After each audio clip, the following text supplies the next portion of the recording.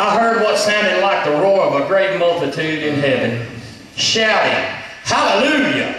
Salvation and glory and power belong to our God, for true and just are his judgments.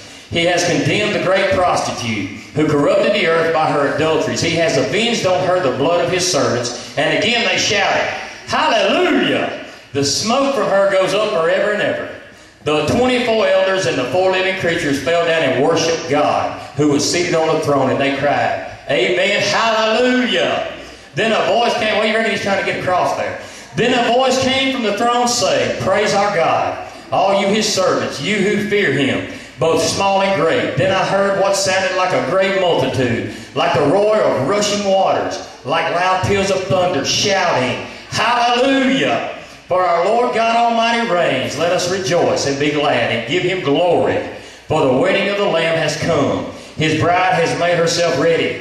Fine linen, bright and clean, was given to her to wear. Fine linen stands for the righteous acts of the saints. Skip down to verse 11. Me and my daddy were talking the other day. We were singing a song we was talking about a white horse. Okay? And for this is for the folks that don't know what the white horse stands for. This is scripture. It's the reason I get excited. It says, I saw heaven standing open, and there before me was a white horse, whose rider is called Faithful and True.